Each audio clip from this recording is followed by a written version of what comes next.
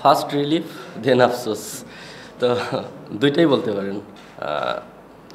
আমাদের প্রথম তিনটা ম্যাচ আসলে তিনটা ম্যাচে জেতার সুযোগ ছিল বাট আনফর্চুনেটলি হয় নাই। বাট অ্যাটলিস্ট আমরা অ্যাজ এ টিম হিসেবে সবাই অ্যাটলিস্ট একটা উইন দিয়ে শুরু করতে চাচ্ছিলাম। তো today is the day so আলহামদুলিল্লাহ আজকে জিততে পেরেছি। আপনার ইনিংসটা নিয়ে যদি একটু তেরো তিন উইকেট ছিল না তারপর যেভাবে মানে মানে আসলে আমার ইনিংসটা কিছু নয় টিমের দরকার ছিল সেটা। সেটা আমি না করে অন্য কেউ করলেও একই টিমের ওই সময় কেউ একজন দরকার ছিল যে শেষ পর্যন্ত যাবে। হ্যাঁ, কারণ আমাদের পাওয়ার প্লেতে না রান হয়েছে। উইকেটও পড়ে গেছে। তো আমাদের at least one thirty forty যেটা অ্যাটলিস্ট ডিপেন্ড করার মতন একটা স্কোর করতে হলে ওখান থেকে একটা পার্টনারশিপ দরকার ছিল। তো আমার আর সামিতের সেটা হয়েছে আলহামদুলিল্লাহ। এটা আমি না হয়ে অন্য কেউ হতে পারতো। রিমন ভাই ভাই অভিনন্দন। আপনার নেতৃত্বে প্রথম জয় এর আগে একটা এ ছিল যে হচ্ছে হলো যখন মাশরাফি ক্যাপ্টেন ছিলেন ফার্স্ট টাইম ম্যাচ যে ক্যাপ্টেন সামনে থেকে এই পারফরমেন্স করতে পারছেন না বা এ করতে পারছে না নেতৃত্ব দিতে ঠিক মতো হচ্ছে না দল হাঁটতেছে এখন আপনার নেতৃত্বে এসে প্রথম জয় পেল এবং আপনি একটা ভালো ইনিংস খেললেন এই দুটার মধ্যে কোনো পার্থক্য আছে কিনা? সামনে থেকে নেতৃত্ব দিতে হয় না, মাশরাফি ভাই স্টিল আমাদের ক্যাপ্টেন ওনার অ্যাবসেন্সে আমি এই রোলটা প্লে করছি। বাট স্টিল আমাদের সব কিছুই কিন্তু মানে আমাদের টিম থেকে শুরু করে আমরা কীভাবে চলবো টলবো উনি সবসময় আমাদের টিমের সঙ্গে ইনভলভ আছেন। স্টিল আজকে সকালে ওনার সঙ্গে কথা হয়েছে। আপনারা সবাই জানেন ওনার ব্যস্ততার কারণে উনি আর পার্টিসিপেট করতে পারছে না। দেখেন ওনার এরকম আমাদের বাংলাদেশে কিন্তু অনেকগুলো প্লেয়ারই আছে, যাদের বাংলাদেশ টিমের বা বাংলাদেশ ক্রিকেটে যে অবদান, এটা শুধুমাত্র একটা ম্যাচ বা একটা টুর্নামেন্ট দিয়ে ইনাদেরকে বিচার করতে পারবেন না। ইনাদের অবদান অনেক বাংলাদেশ ক্রিকেটের জন্য এবং আমাদের সবাই, সবারই উচিত যে ওনার যারা বাংলাদেশ ক্রিকেটের হয়ে অবদান রেখেছেন, তাদের প্রতি সবসময় রেসপেক্ট রাখা। আপনি বললেন যে মাশরাফি দলের সাথে নেই তবে তিনি এখন অধিনায়ক হিসেবে আছেন। তবে মাঠে তো অধিনায়ক আপনাকেই করতে হয়েছে। আগের ম্যাচগুলোতেও সেভাবে রান করতে পারেননি। এখানে একটা লিডারশিপের ব্যাপার ছিল, হারের বিরুদ্ধে থাকা একটা দলকে।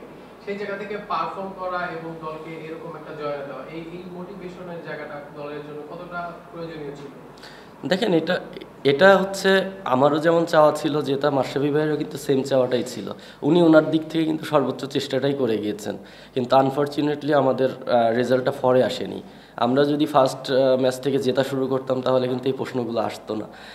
সো মানে আমরা গ্যারান্টি দিয়ে কখনো জিততে পারব না বাট আমরা প্রসেসটা ঠিক রাখতে পারব এবং টিমের মধ্যে যেই আন্ডারস্ট্যান্ডিং এবং টিম এনভায়রনমেন্ট সেটা আমরা ঠিক রাখতে পারব।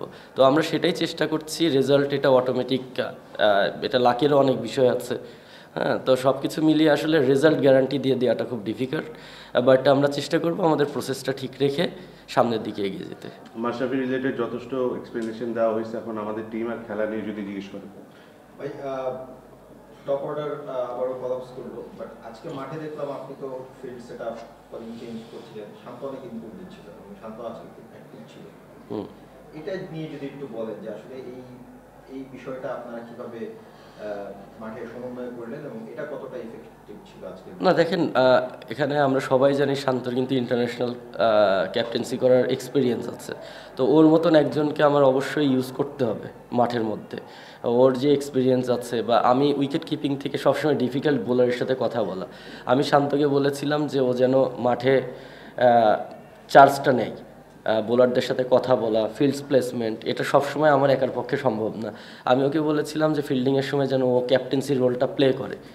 অবশ্যই আমরা ডিসকাস করেই ডিসিশন নিব বাট ও যদি ফিল করে যে কোনো কিছু, সেটা যেন এসে আমাকে বলে এবং আমরা, আমি ওর ওপরে পুরোপুরি ট্রাস্ট করি। ওর গুড ক্রিকেট ক্রিকেটিং নলেজ আছে।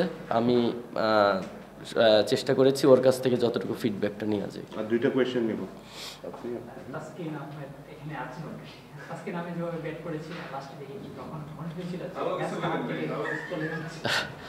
না আসলে তাসকিন তাসকিন যখন খেলেছে তখন আর ওই অবস্থায় ছিল না যে ও একা ম্যাচটা নিয়ে যাবে হাত থেকে চলে যাবে।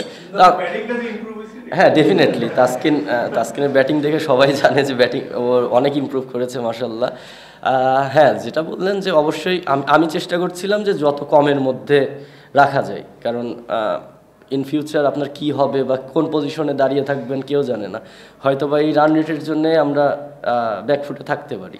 তো চেষ্টা করছিলাম বাট তাস্কিন খুব ভালো ব্যাটিং করেছে। ওখান থেকে মানে এর থেকে ভালো আমার মনে হয় না যে একজন ক্যালেন্ডার করতে পারে। লাস্ট কোয়েশ্চেন বলছিলাম না? নতুন ভাই মানে আপনার নিজের পার্সোনাল বলতেছি মানে আপনি এখানে যখন দরকার হয়েছে টিমের প্রয়োজনে আপনি ভাইস ক্যাপ্টেন্সি করছেন, এখন ক্যাপ্টেন্সি করতেছেন। যখন দরকার হয়েছে তখন পারফর্ম করছেন। আপনি বলছেন যে এটা হয়তো অন্য কেউ করতে পারতো দলের প্রয়োজনে। তো সবসময় দেখা যায় আপনি ডোমেস্টিকও অনেকটা এরকমই যে মানে যখন দলের প্রয়োজন হচ্ছে এরকম। এক একজনের ক্যারিয়ারে একটা এক একটা স্বস্তির ব্যাপার থেকে। আপনার স্বস্তি কি এইটা যে আপনি সবসময় টিম ম্যান বা সবসময় দলের জন্য অ্যান্সার তো আপনিই দিয়ে দিয়েছেন আমি এরকমই। আচ্ছা ভাই করে ফেলেন কি করতে চাইছেন?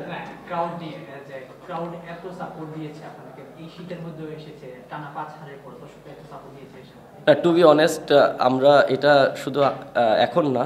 এখন হয়তো বা আমি অ্যান্সার দিচ্ছি বাট আমরা কিন্তু বাসে এটা আলোচনা করি। যে আমরা এত বাজে খেলার পরেও আমাদের ম্যাচে প্রতিদিন হাউসফুল থাকে ফুল ক্রাউডেড ক্রাউড থাকে।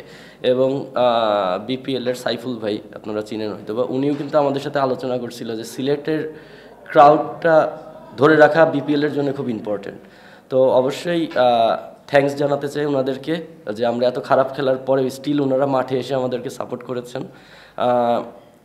মানে আশা করার কিছু নাই আমার মনে হয় যে ওনারা করবেন। কারণ এত খারাপ খেলার পরে যেহেতু করেছেন এখন একটা জিতেছি এখন আরও করবেন।